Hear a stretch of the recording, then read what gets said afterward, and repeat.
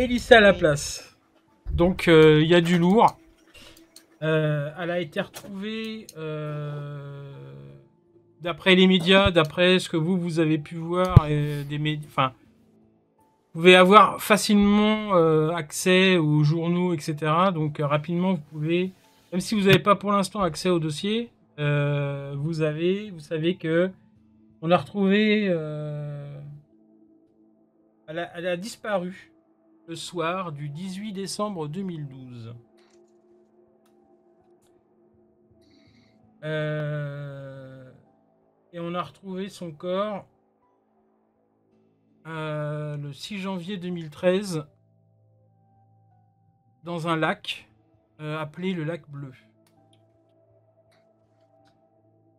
Le lac Bleu, c'est une ancienne carrière qui a été reconvertie en base de loisirs. Située sur le territoire de la commune d'Espiette, à une poignée de kilomètres au nord de la Sauve. Je vais Oui. vous épingler ça avec la carte de. Bordeaux. Je pensais que vous connaissiez tous les coins Je vous en maintenant. prie. Bien sûr, bien sûr. c'est à Oui, côté, oui. il y a Non, un, on- café à côté. On, on sait tout à fait exactement. C'est notre région quand même. euh, On travaille. Et puis comme toi, tu es le plus vieux d'entre nous, Brochard, tu te connais même combien il y a de kilomètres pour y aller? Oh, je suis d'originaire du Nord, Alors. donc bon. Ah bah voilà. La, Ah la oui. Sauve, c'est là où je pigne. Crayon. Et regardez à quoi. Qu'est-ce qu'on trouve à côté On trouve Crayon et surtout on trouve Lardonac. Ah bah comme ça, comme on Encore dit y plein aller, de ça trucs tombe à bien. faire, oui. hein. À côté de Crayon. Que et d'Ardenac. effectivement, c'est c'est le, le triangle Targon Dardenac Crayon. euh, ben, on a retrouvé le corps de Mélissa à la place dans l'eau. Euh, le, le 6 janvier 2013, donc en début d'année là. Et ça correspond effectivement avec la marche blanche qu'il y a eu, etc. Mais elle était, euh, elle était après immergée, les- il y avait quelque chose qui la tenait. euh, enfin, on sait Il pas. n'y a rien par rapport à ça, ce sera sûrement Ouais, dans, parce le, qu'il faudra voir l'autopsie. Dans le rapport d'enquête, auto- autopsie et tout. Il tout faudra attendre le rapport d'enquête, quoi. Donc, effectivement, il y a eu euh, une ouverture des, euh, des journaux télé sur nationaux, Qu- Quel euh, âge sur, euh, sur l'affaire euh, La Place. Euh, Oh, ça, ouais, ça dû être dit. hein. 18 ans. 18 ans. Elle avait Genre, 18 ans. Tout juste, quoi. Et euh, effectivement, on a fait l'ouverture des journaux télé. euh, Il y avait eu un ministre à son enterrement, euh, etc., etc. Et c'est tombé un peu dans l'oubli en, en ce mois, en ce mois de mai. Est-ce qu'on a son historique un peu. euh, D'avant? Ouais, par rapport aux médias, je pense qu'il y a quand même dû avoir un espèce de résumé de sa vie. euh. Euh, alors oui, il y a un petit, euh, un petit encart en fait sur euh, qui était Mélissa Laplace. Vous pouvez trouver facilement ce genre d'informations. Euh, vivait donc à la Sauve dans une famille recomposée. Euh, D'après l'article, elle était plus préoccupée par l'alcool et les fêtes que par ses études d'esthéticienne. Euh, Et euh, apparemment, elle a quitté la maison le soir du 18 décembre 2012 sans dire où elle allait à ses parents. Bon, apparemment, ça, lui arrivait, même si elle découchait pas. Et euh, son père, lui, s'est présenté le lendemain matin euh, à la gendarmerie. Et euh, euh, le problème, c'est que vous connaissez, hein, euh, elle a 18 ans, donc euh, il a fallu qu'ils attendent un petit peu. euh, parce que comme elle était 48 heures. majeure, ben, est- ils ont commencé les recherches le 20 décembre. Début Les gendarmes. recherche, le vin. Donc le, len- le- le- le lendemain, en fait. Ils ont attendu euh, 24 heures. Voilà. Euh, le 23 décembre, ils ont découvert, euh, d'après l'article, des vêtements lacérés et tachés de sang. Ils ont découvert dans les bois, près du cimetière de Dardenac.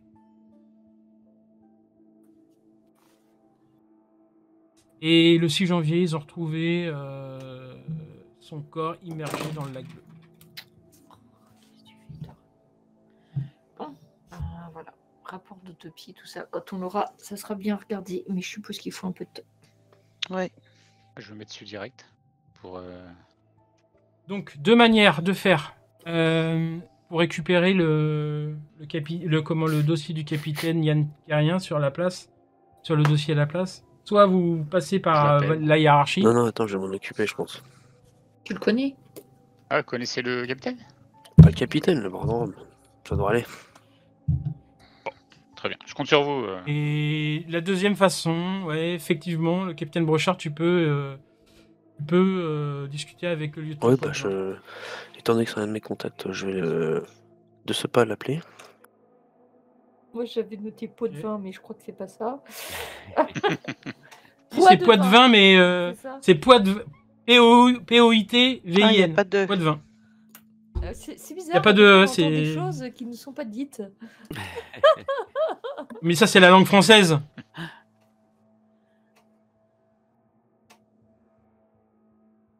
Écoute, euh, il convient de d'un petit déjeuner avec lui euh, au café du coin pour discuter de cette histoire. Il est d'accord pour en parler. Ok.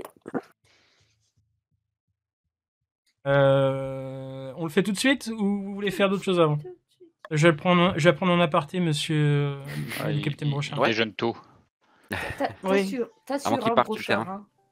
Ouais, On- j'ai encore euh, des points de ressources, c'est bon.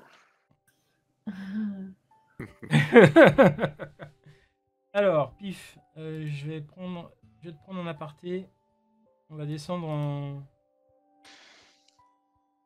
Alors, il est où TeamSpeak là?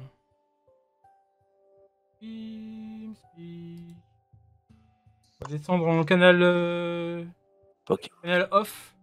Viens avec moi? Alors.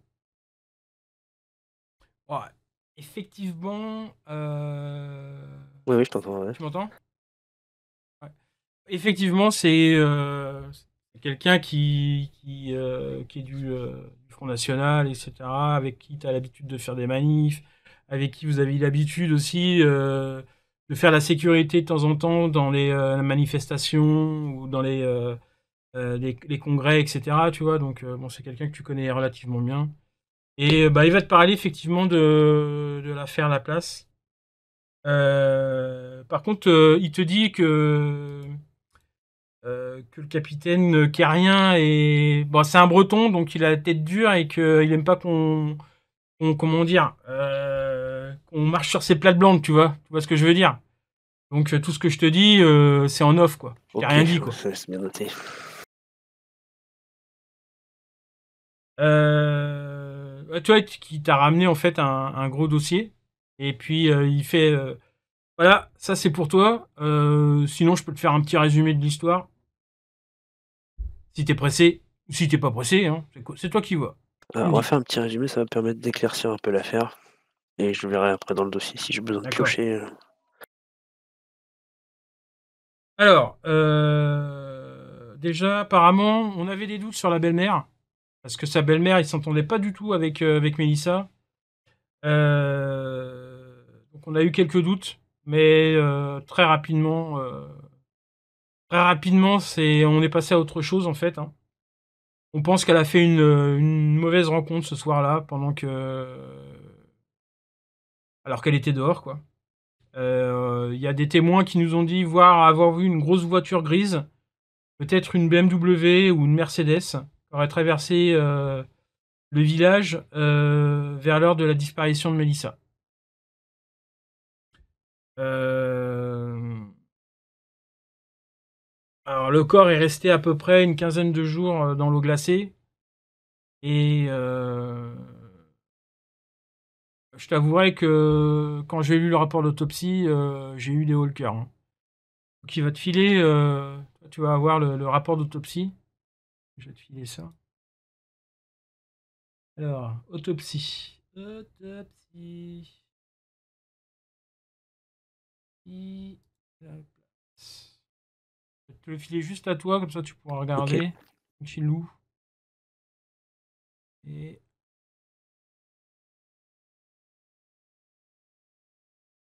juste pour toi, Nanandre. Et puis la vidéo. Hop, hop, hop. Te le mettre en observateur. Tu pourras le retrouver dans les, dans les aides de jeu. Je laisse lire.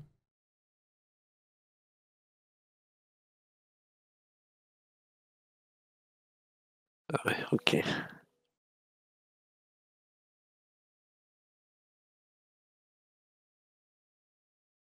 Ok, ouais, c'est très, c'est très, effectivement.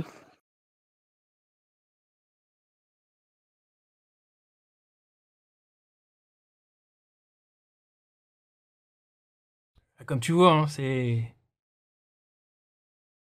c'est assez comment morbide.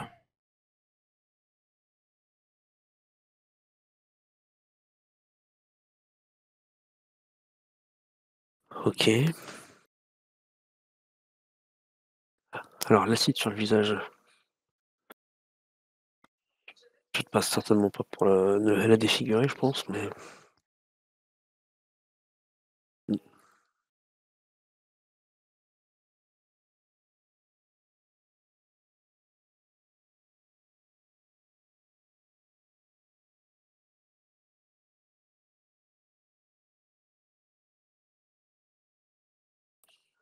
Euh, attends, parce que j'ai du mal à lire. Ah oui, ok. L'immersion du corps a fait disparaître tout l'ADN. Ok. Ouais, donc euh, le coupable n'a pas été arrêté. Non. Et les suspects qu'on avait ont vite été éliminés, en fait. Par leur alibi, malheureusement. L'affaire est toujours ouverte, mais euh, piétine. Depuis nous, avec le capitaine, euh, rien n'est passé à autre chose, quoi.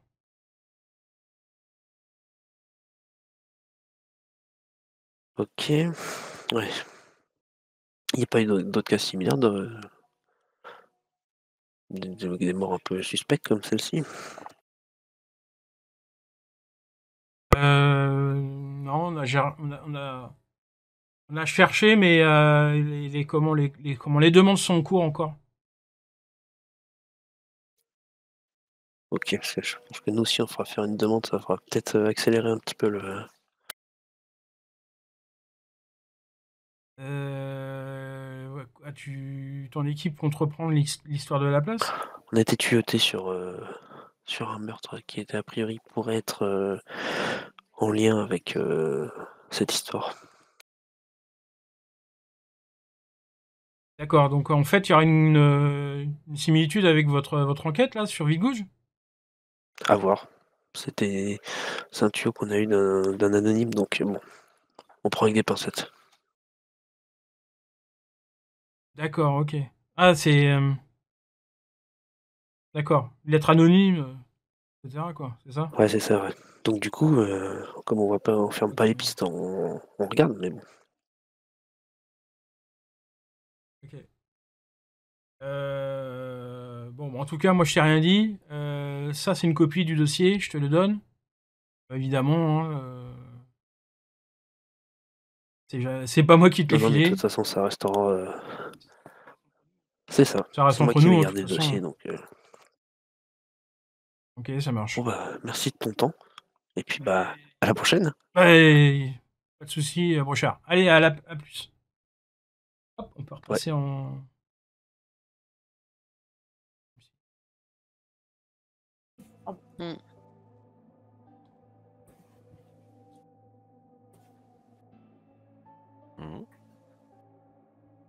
Oui, Alors, pendant ce oui. temps-là, à la gendarmerie, pendant que Capitaine Brochard n'est Oui. pas là, Hmm. ça va durer une petite heure. Hein, donc, euh, ça va. Par contre, att- attends, attends, attendez.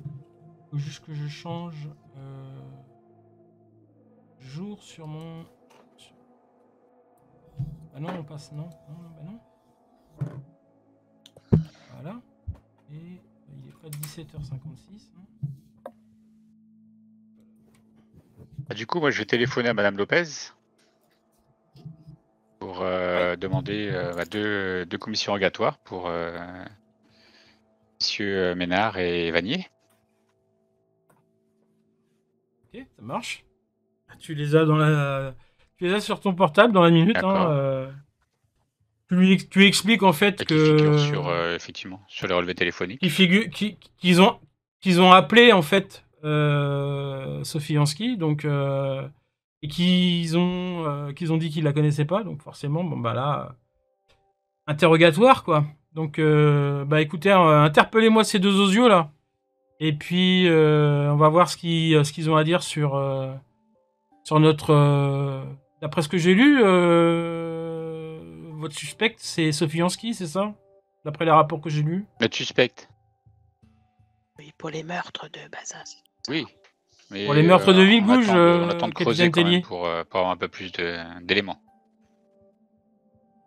D'accord, mais en tout cas, euh, c'est c'est la number one pour le moment Ça quoi. pourrait effectivement, euh, mais il y a beaucoup, encore beaucoup de zones d'ombre euh, à éclaircir.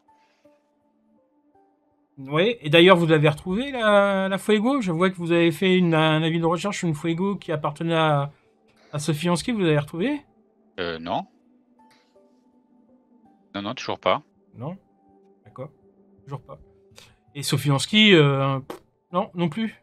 Euh, non, mais je compte bien sur euh, monsieur, messieurs Ménard et Vanier pour en savoir plus sur son sort.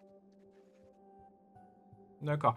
Bon, euh, N'hésitez pas à m'appeler, je sais que vous étiez en charge avec le procureur Waro, mais bon, comme, vous- comme l'a dû sûrement- vous l'expliquer, le commandant Mata, euh, il Mm. s'est dessaisi. Donc, euh, même si j'ai beaucoup de travail et que je suis sur d'autres affaires, n'hésitez pas à me Euh, solliciter si vous pas, avez je suis sûr que besoin. de- collaboration ne portera ses fruits. Oh, bien, bien sûr, bien sûr, bien sûr. Bon, je vous laisse, j'ai du travail. Au revoir, revoir, capitaine Telly. Madame Lopez. Euh, bah, du coup, je demande à deux, euh, deux gendarmes d'aller les chercher pour les ramener euh, direct dans nos locaux. Yes. Oui, chef. Et, et il faut Donc, qu'on en fasse deux gros, équipes, qu'il y en a deux? euh, tu demandes en fait à Ouais. des gendarmes d'aller les chercher, c'est ça? Non. Euh, Pas ton équipe. D'accord. Ah mince. Ok, ça marche. Nous, on prépare la salle Action. d'interrogatoire. Euh, Ouais. euh, euh, prépare ton ballon, Messali. Ah oui. En tant que spécialiste, euh, Des interrogatoires Oui. un peu spéciaux. Alors, euh, c'est pour, pour les deux, pour Ménard et Non, Vanier, deux, ou juste pour Ménard? Oui. Pour les deux. Donc en fait, euh, il y a des gendarmes qui vont aller Ouais. chercher Vanier et Ménard, c'est ça? Bah, peut-être pas Ok, d'accord, hein. ça marche. Faut pas qu'ils sachent. Bah non, Je sais des voitures séparées. c'est- euh. oui, oui, bien sûr, oui, euh, ils rentreront pas en même temps. Ouais, De toute oui, façon, ils habitent à des endroits différents, donc de euh, toute façon. euh, Oui, mais après, un saladier. a- après, il- C'est pas un. Il faut- Comment ça s'appelle? Ah, Alors franchement, moi je pense que s'ils se croisaient dans- en, tant que UR, hein, n'est-ce pas, euh, trade Ah oui, après- profiler, moi je, je- je propose qu'on les fasse se croiser dans le Oui, oui, couloir sans qu'ils puissent communiquer, de façon à ce qu'on puisse leur dire, eh ben votre collègue là, il a tout avoué, hein. bah, Ah, de toute loin. façon le, premier Oui, mais de loin. De loin, De ça doit loin, oui, s'organiser, il- ça. il, il, il faut pas qu'ils se- parlent pour pouvoir euh, les travailler au corps après et les faire avouer. Ça doit s'organiser, ça, ouais. Ah, c'est Vislar, ça, c'est Vislar. Mais c'est bien joué. Pour, pour qu'ils pensent que c'est l'autre qui a dit que c'est comme ça, tout ça. De toute façon, euh, Ouais, enfin, faut qu'on établisse un lien entre les deux aussi. il faudra peut-être qu'ils nous Oui. aient quelque chose à nous dire. Déjà alors, qu'on ait des points communs entre les deux. Oui, c'est ça. Pour l'instant, on n'a rien. Bah si, ils ont tous les deux appelé la fille. Voilà, tout ça. Ouais. C'est c'est maigre. hein. C'est- c'est- Hein, Ah, c'est clair merci. que c'est Merci, lieutenant. hein. Merci, lieutenant. Mais, euh, mais on va en savoir plus bientôt. Je compte sur le capitaine Brochard. Ouais, et puis vous n'avez pas les, les, comment, les temps de discussion, surtout aussi. Les- Alors, la durée ici, durée. mais... Oui, mais c'est la durée Ah. totale en fait. On a la durée, durée totale juste. Euh, moi, je voudrais obtenir le procès verbal du cambriolage là, de Vanier. S'il te plaît. Oui, Et après, une fois que j'aurai Ça je vais faire des recherches sur les maisons isolées du coin déjà. Parce que je reste que Oui. chez moi. hein. Alors, Enfin, j'ai- pour l'instant, je reste sur place. euh. Après, oui, après, j'irai peut-être avec quelqu'un pour, euh, pour aller au stand de tir en fait. D'accord. Euh, on va s'isoler tous les deux? Après, je sais, tu vas gueuler parce que t'auras pas Ah oui, ton sûr. aparté avec c'est moi. normal. Voilà. Ça. À, à- à tout de suite, euh, les amis. À tout de suite. À tout de suite.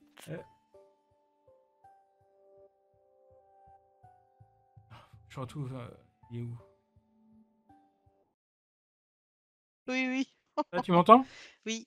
Ok. Parfait. Donc, tu commences déjà à faire des recherches euh, sur les maisons. Ça va prendre un peu de temps. Et euh, ah, tu, fais, euh, tu fais quelques recherches euh, avec euh, Google Maps, etc., pour voir un petit peu autour de Créon quelles sont les, les baraques, un petit peu isolées. Et puis après, bah, tu reprends les adresses, etc., pour savoir à qui Oui. appartient les, les maisons. Donc tu trouves effectivement cinq grandes maisons qui pourraient correspondre à ce que tu cherches, en fait. hein, des maisons un peu isolées, autour de. Créon, tu vois. Donc euh, la première euh, maison que tu trouves, euh, c'est, elle appartient à Monsieur et Madame Fontanelle Jean. Euh, très rapidement, tu fais des recherches pour voir Oui, s'ils ont oui, des casiers oui, judiciaires, des trucs comme ça, etc. Euh, bon, tu trouves leur identité, hein, euh, une cinquantaine d'années, ils ont trois enfants, Lydia, Patrick et Isabelle, qui ont 18, 20 et 28 ans. Bon, pas de, pas de PV, rien, pas de droit dans les, dans leurs bottes, quoi, on va dire, quoi. Tu vois, ils ont, ils ont, ils ont, ils ont pas de procès, ni euh, ils ont jamais été arrêtés par la gendarmerie. Euh, tu fais des- recherches Oui. aussi avec Anacrim pour voir Oui. s'ils sont pas Oui. recherchés ailleurs, etc., par Interpol ou autre. Et finalement, non, il n'y a rien du tout. Euh, voilà, c'est un couple d'une cinquantaine d'années à peu près hein, qui travaille dans l'administration, euh, française. Ah. Aux impôts, voilà, travaille aux impôts. Ensuite, tu trouves une deuxième maison qui appartient à un certain monsieur Jean-François Lep, L-E-P, euh, qui a 30 ans, qui vit seul. Euh, il a récupéré la maison de ses parents qui sont morts. Apparemment, euh, tu trouves, tu Mhm. fais les réseaux sociaux, etc. Tu vois. Tu trouves, qui, tu trouves une page Facebook le concernant. Apparemment, il serait romancier, mais il, voilà, il est. Tu regardes un petit peu les, les avis, etc. sur ses, sur, sur Babelio ou autre, et tu vois que bon, il écrit des polars, mais très très mauvais, quoi. Voilà. Euh, pareil, tu, tu cherches une entité judiciaire, il y en a, il, il droit dans ses bottes aussi, lui aussi, pas de. Un, un petit PV, tu vois, euh, pour un excès de vitesse, mais sinon, rien d'autre, quoi. Il y y a vraiment rien d'autre, quoi. Donc, il a été fiché, effectivement, pour, euh, pour un excès de vitesse. Voilà. Mais c'est tout. Ensuite, tu tombes sur Monsieur et Madame Savigny Louis, euh, un couple de retraités qui ont une soixantaine d'années, pas enfin, plus Mhm. même 65 ans. Et apparemment, tu retrouves. euh, bon, ils sont pas sur Internet, eux, hein, ils n'ont pas de, de- de page Facebook ni rien du tout. Par contre, tu, tu retrouves un petit peu euh, des informations comme quoi ils travaillaient dans l'administration. Ah, il y a la CPAM, en fait, tous les deux. Et tu. euh, les deux autres Oui. maisons, ce sont des maisons à vendre, euh, assez écartées de, de Créon, en fait, hein, euh, qui ont été récupérées par le Crédit Mutuel de Bordeaux. Suite à une vente. En fait, euh, euh, sûrement. Alors, tu, tu, tu- tu te, tu te dis que. Parce que là, c'est Oui. pour l'instant, tu n'as pas les renseignements. Il faudra avoir les renseignements bancaires Mhm. du Crédit Mutuel de Bordeaux, etc. Mais en gros, il est possible que ce soit des, euh, des gens qui pouvaient plus payer leur retraite, etc. Et qui ont, euh, qui ont finalement. Que finalement, la banque, le Crédit Mutuel a racheté, en fait. D'accord. Il n'y a pas de, il y a pas d'autres informations, savoir qui étaient les anciens euh, euh, propriétaires. En tout cas, ces deux maisons sont à vendre. Ok. Donc elles sont vides actuellement. Bon, bah, je ferai des recherches euh, là-dessus. Donc tu as les adresses, tu les adresses, etc. de chaque maison que tu as isolée en fait. Alors, ensuite, euh, au niveau euh, police nationale, au niveau du, euh, au niveau du cambriolage de Thomas Vanier, euh, tu vois que bah, effectivement, il a bien fait un, un procès verbal avec. euh, il y a un procès verbal de- de- sur Anacrim qui ressort, etc. Avec euh, le, le- le- comment le nom du euh, La personne en charge de l'affaire, c'est ça de, Ouais. de la personne en charge de l'affaire.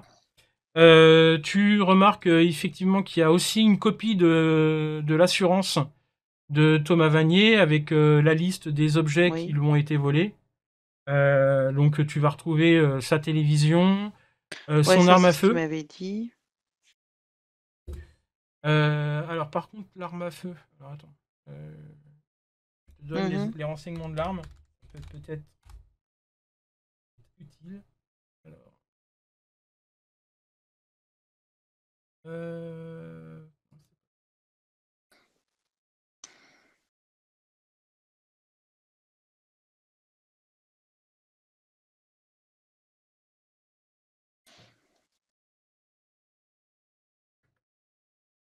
Tac. Je vais regarder autrement. Euh, pas dans mon PDF. Mais... Information. tout Enfin là, ça va me prendre toute la journée, hein, en fait, ce truc-là. T'es d'accord hein, de faire ça? Ah, là, ouais, c'est euh, le fait de, de, de rassembler les informations déjà sur les maisons. euh, ça, c'est ça qui te Mhm. prend le plus de temps, en fait, quoi. Donc, on arrivera sur les coups de 2 heures de l'après-midi quand tu auras terminé. Ah oui, donc je pensais, euh, ok, je pensais tous plus les tard trucs, quand même. Tu vois. Non, non, non, non. Alors, attends, je vais juste euh, essayer de voir si je peux avoir des renseignements sans avoir. Euh, donc, ouais. Euh... Tac, tac, tac. Il est où, lui? Vanier.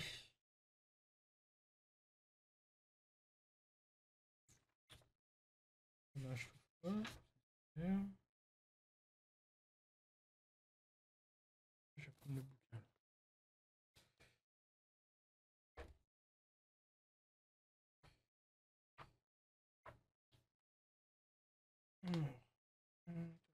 Alors,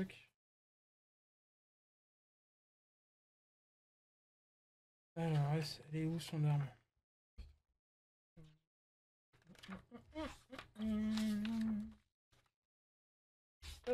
Alors, c'est... Euh, non, c'est pas ça, c'est pas ça, c'est pas ça, c'est pas ça. Hum. Hum. C'est ça. Alors, euh, ça c'est... Et c'est... Un Beretta 765.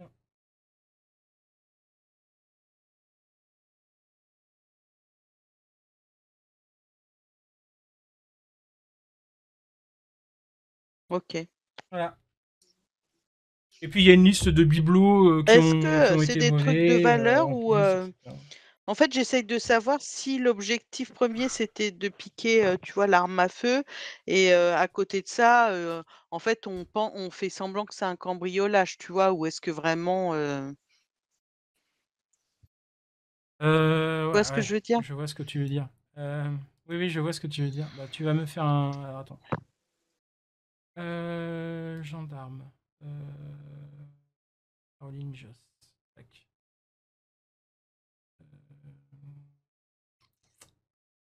Tu vas me faire un jet d'intel. Un jet d'intelligence. Alors, un jet d'intelligence. C'est euh, quoi? C'est c'est Bagou? Ah non, intelligence, eu Non, non, c'est intel. C'est un jet de Euh, sauvegarde d'intelligence. Oui. Ouais. Euh, pff, ouais. Ouais, ouais, c'est pas grave. euh, Euh, et effectivement, tu t'aperçois que la télé, les bibelots, etc., ça peut être, euh, ça peut être juste une. euh, Ouais, c'est pour faire, se croire qu'il y a eu un. pour faire, pour, pour faire croire que euh, c'était un cambriolage de Mm. pour récupérer les bibelots et la télé, euh, alors que c'était vraiment concentré que sur l'arme à feu, quoi. Ok. Déjà, le fait que Oui, l'arme à feu. le, le, comment, euh, le coffre, il n'a pas été euh, forcé, en fait. Il n'a pas été forcé, on a utilisé euh, le, le code de- du coffre pour ouvrir. Déjà, c'est, ça veut dire que c'est quelqu'un qui connaissait Ouais, les lieux, déjà, pour trouver le coffre. Parce qu'il était quand même dans sa chambre, dans un placard, au-dessus, pour pas être à la portée des enfants. Donc, voilà. Ou, ou soit, euh, ça peut être aussi lui qui fait croire que. Voilà. Mais bon. Il a pété euh, la vitre, il, il a fait, il s'est fait, enfin, il, il, a, il a, il a, il a pris la télé, des bibelots, l'arme, etc. Et puis euh, voilà. Après, il a fait une déclaration de vol, quoi. Oui, oui, ok. Ça peut être lui hein, aussi, hein, voilà. Tu, tu tu peux, as deux hypothèses. Voilà. Ouais, ça marche, merci. Voilà, ça marche? Oui. Allez, on bascule.